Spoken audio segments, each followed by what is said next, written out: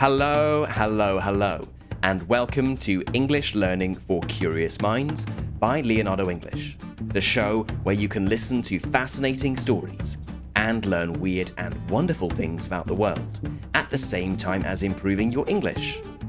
I'm Alistair Budge, and today we are going to be talking about someone you've almost certainly heard of Michael Jackson, the king of pop, or simply MJ.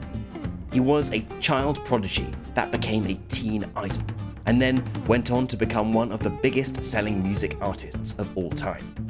But, as you will know, his later life was plagued with controversy and allegations of the most heinous kind. So, that is what we are going to be talking about today the troubled life of the King of Pop. This episode does come with a slight warning that we will be talking about some of the crimes that Michael Jackson was accused of. So, if you would rather not listen to that, please stop listening now.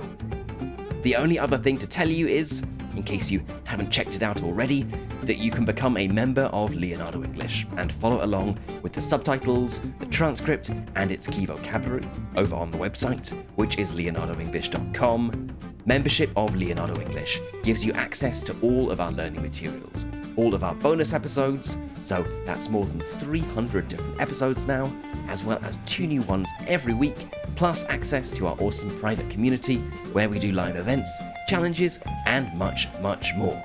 So, if you are ready to take the next step on your English learning journey, the place to go is leonardoenglish.com.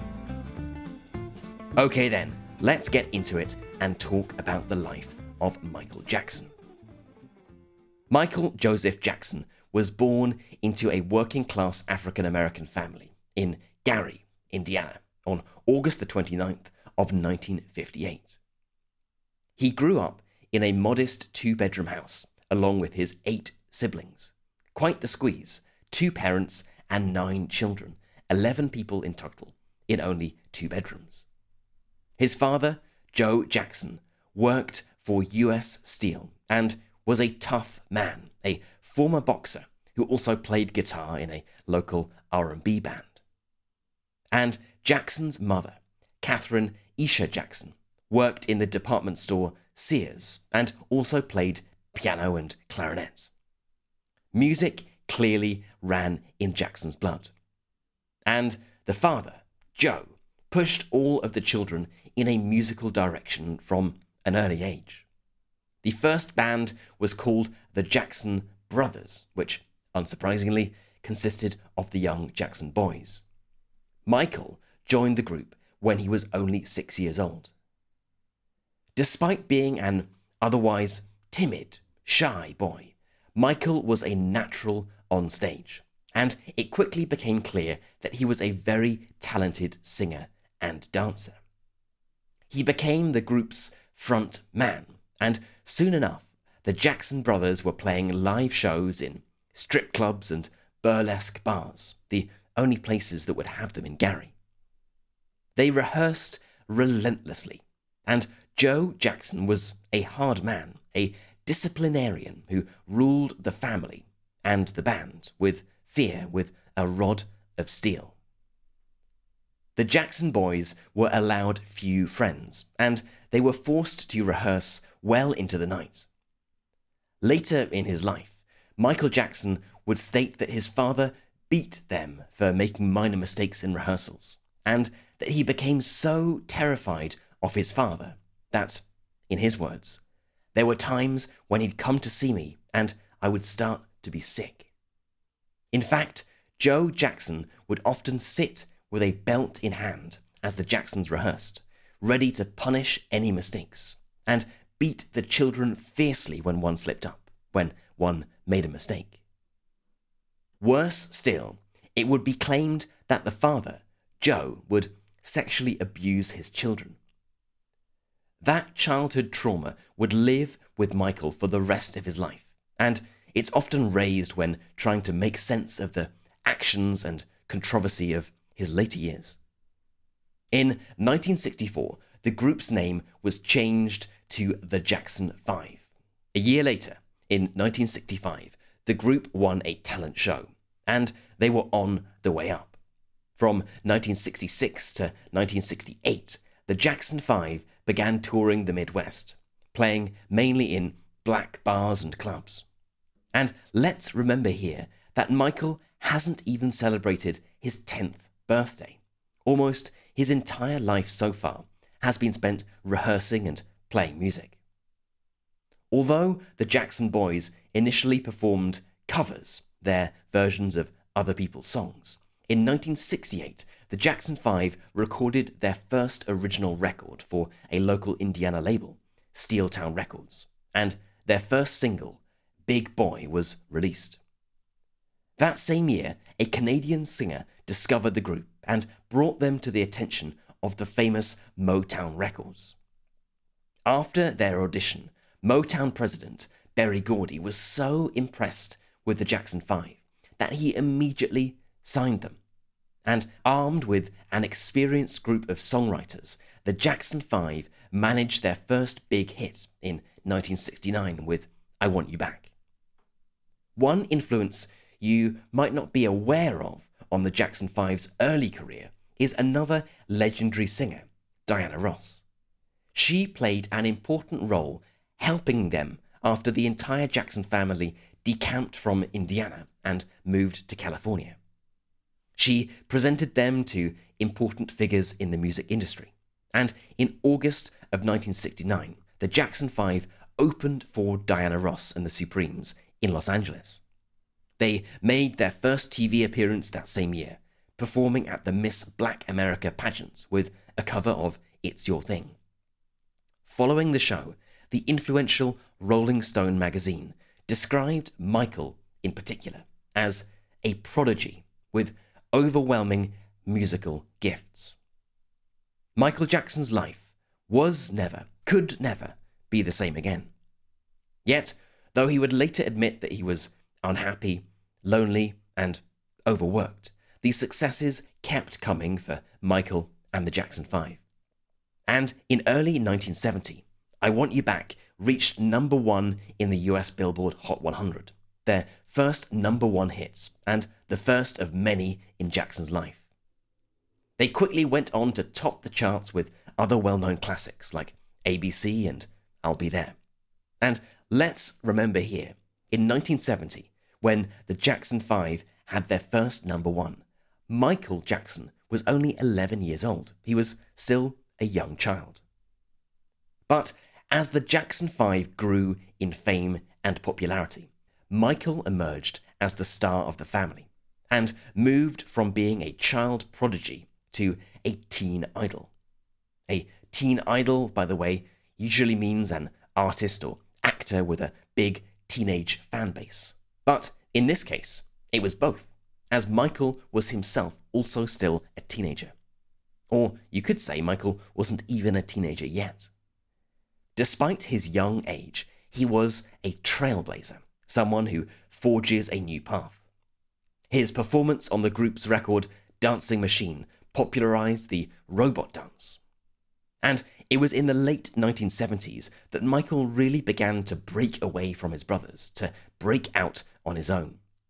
In 1978, he made his film debut as the Scarecrow in a remake of The Wizard of Oz, with Diana Ross playing Dorothy. Then, a year later, aged still only 21, Jackson recorded the iconic solo album Off the Wall, which brought him his first number one solo singles with Don't Stop Till You Get Enough and Rock With You. And the commercial and critical successes only grew. A year after that, in 1980, he won his first Grammy Award for Best R&B Male Vocal Performance. And in 1982, he released Thriller, which had a staggering seven singles from the album in the top 10, including some you probably know well, such as Billie Jean, Beat It, and, of course, Thriller. And you may also know that Thriller wasn't famous only for its music. Thriller might be the most famous music video of all time, where Jackson, who had become a werewolf in the video, first unveiled his signature dance move, the moonwalk. By now, Michael was the biggest pop star in the world. He was the king of pop. He was rich beyond his wildest dreams, and it seemed that practically everything he released went to number one. His personal life, however, was becoming a bit, well, strange. In the 1980s, Jackson became somewhat of a recluse, someone who lives a withdrawn life and avoids other people. He was also developing a reputation as a little eccentric or weird. In 1984, he moved to a 1,100 hectare ranch in California called Neverland, where he had an amusement park, zoo, and a Ferris wheel built. And in January of that year, Michael and some of his siblings filmed an advert for Pepsi. But as he was dancing, the pyrotechnic effects set his afro hair on fire. Unaware of what was happening, he kept dancing, continuing with his routine until someone grabbed him and put the fire out. The accident left Jackson with second degree burns to his scalp, and he had treatment, including a nose job to hide the scarring, to hide the damage from the burns. It was around this time that rumors began to swirl around Hollywood that Jackson was lightening his skin through chemical treatment, that he was changing the color of his skin. Michael Jackson was, as you will know, African American. He was black. But throughout the 1980s, his skin started becoming paler. This change in appearance, Jackson claims, was due to a skin condition known as vitiligo.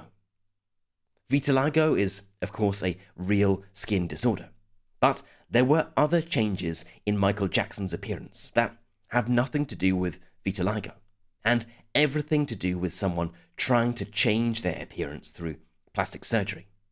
His nose was bleached, his lips were thinned, and his chin reshaped. He looked, as you will probably know if you have seen pictures of him as a child and then as a man, like a different person. But while his appearance may have changed completely, the quality of his music did not. After a few years without releasing an album, Jackson's highly anticipated next release, Bad, was a huge hit. In August of 1987, this album, Bad, became the first album to produce five US number one singles. The album was also the first to be number one in 25 countries and was the best selling album around the globe in both 1987 and 1988. Now, Jackson was not just the king of pop, he was head and shoulders above anyone else, breaking records and dominating charts around the world. But behind all the success, behind the number one albums and moonwalks and music videos, there was a darker side to Jackson's life. Now we get to the other part of Michael Jackson, the more uncomfortable part, the aspect of his life that is, unfortunately, inseparable from the amazing music that he created, and for some people, outweighs his enormous success as a musician, and for others, is so great that they refuse to listen to his music. In August of 1993, reports emerged that the Los Angeles Police Department was investigating Jackson. The police had received allegations that he molested, abused, four children, including a 13 year old boy. After searching his Neverland ranch, the police failed to find any incriminating evidence. But in September of that year, one of the families filed a lawsuit against Jackson, alleging that he repeatedly committed sexual battery on their 13 year old son. Defenders of Jackson and his legal team claimed the allegations were a way of extorting the star for millions of dollars. They were trying to get money out of the pop star. Many years later, however, it was revealed that Jackson privately settled the lawsuit for more than $20 million, though he denied any wrongful acts. It seems that some of the parents of the children also refused to believe that anything untoward, anything dodgy, had happened. In 1993, one of the mothers spoke publicly about her child's slumber parties with the singer at the Neverland Ranch. They play so hard they fall asleep. They're exhausted, she told the interviewer, seemingly unable or unwilling to accept the allegations. There's nothing more to it than that. It seemed that prosecutors were also struggling to pin anything on Jackson, to find him guilty of any crimes. In September of 1994, after a year of trying, prosecutors announced that they could not make criminal charges against Jackson because the key victim didn't want to testify. Jackson had got away with it, or so it seemed. But then, in December of that year, Jackson's sister, La Toya, publicly said that the claims were true. This is very difficult for me, she said in a press conference.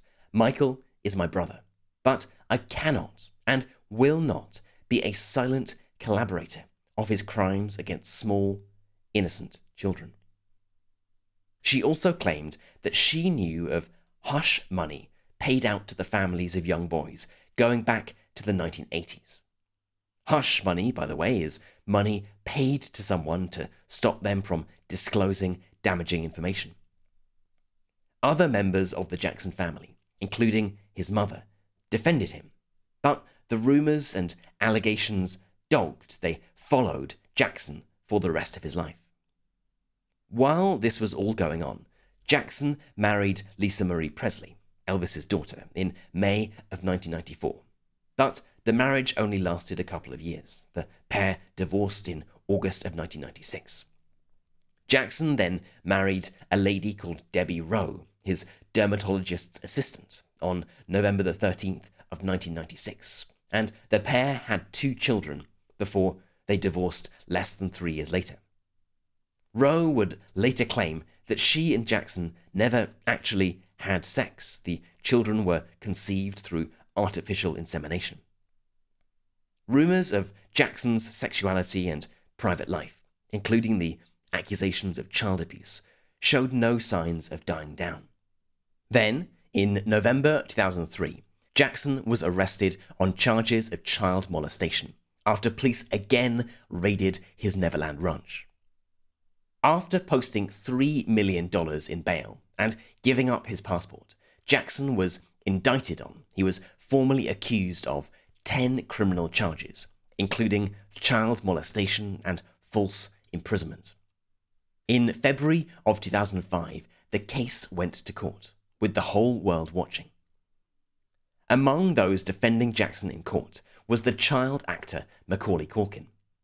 In court, it was established that Culkin and other underage boys regularly slept with Jackson in his bed, but Culkin denied that Jackson ever acted inappropriately.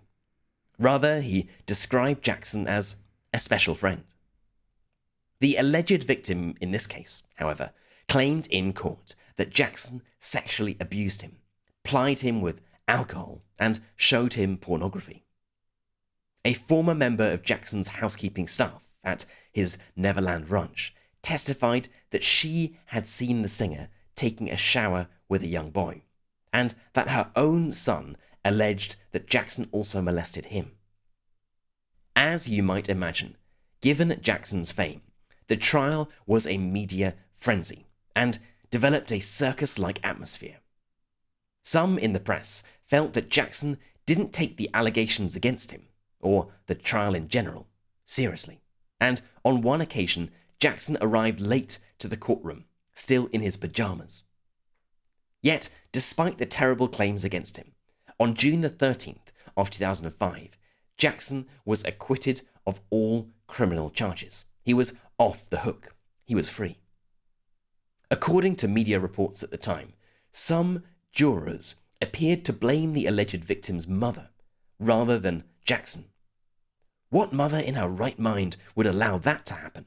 One female juror reportedly asked. Indeed, a few months later, prosecutors would charge one of the alleged victim's mothers with perjury. In other words, lying in court. Now, although Jackson was acquitted of all criminal charges, the court of public opinion wasn't so kind to him. and rumours that he was a child sex abuser continued. But then something even more unexpected happened. On June the 25th, 2009, Jackson was found unresponsive at his home. At a mere 50 years old, the king of pop was dead. Although it was initially believed by the Jackson family that he had died of cardiac arrest, of a heart attack, in November of 2011, a doctor, Conrad Murray, was found guilty of involuntary manslaughter for giving Jackson a deadly dose of an anesthetic. Jackson, it would be revealed, was heavily addicted to prescription drugs, and it seems that this time his doctor had got the doses wrong and given him so much it put him to sleep forever. Now, in terms of his legacy, there are few individuals who can claim to have had a greater impact on the world of pop music, and certainly few people who have lived more of their life on stage than Michael Jackson. For over five decades, Michael Jackson dominated the music scene with relentless number one hits, his signature dance moves, groundbreaking music videos, and unrivaled showmanship. Yet the second half of his career was dogged by allegations of child abuse. Some of his die-hard fans still refuse to believe the accusations, arguing that he was targeted by people wanting to get money out of him. Some accept them, but point to his own childhood trauma as justification, arguing that he was never allowed to be a child himself, that he had been abused by his father, and it is ridiculous for anyone to have expected him to behave normally. Others simply refuse to listen to his music, disgusted by the accusations of the atrocious acts he is alleged to have committed against children. No matter your opinion on Michael Jackson, the man, it's undeniable that he had a huge impact on music and defined what it meant to be a pop star. Perhaps, when thinking about Michael Jackson, we are presented with the same question as when thinking about the violent but brilliant Renaissance painter, Caravaggio, the artist Pablo Picasso, who has been accused of being a misogynist and once said, Women are machines for suffering, or any public figure who has created something wonderful, but has views we don't agree with, or who has been accused of something terrible. And that is the question of whether we can ever really separate the musician from the music, the artist from the art. Okay, then, that is it for today's episode on Michael Jackson, the child star who became the king of pop. A man who had, to say the very least, an unhealthy interest in young boys and died in mysterious circumstances. I hope it was an interesting one, and whether you knew a lot about Michael Jackson and his life before today, or this was the first time you'd really heard anything about him, well, I hope you learned something new. As always, I would love to know what you thought about this episode. Do you think Jackson was guilty of the accusations against him? Do you think we can ever separate the man from his music? If you're a Michael Jackson fan, what's your favourite song and why? I would love to know, so let's get this discussion started. For the members among you, you can head right into our community forum, which is at community.leonardoenglish.com, and get chatting away to other curious minds.